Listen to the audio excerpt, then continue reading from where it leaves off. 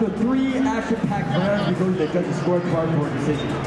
Judge 1 scores a foul 29-28 from the blue corner. Judge 2 scores a foul 30-27 from the blue corner. And Judge 3 scores a foul 29-28 from the red corner. The winner by majority decision, by the blue corner, Yossi Kaminetsky.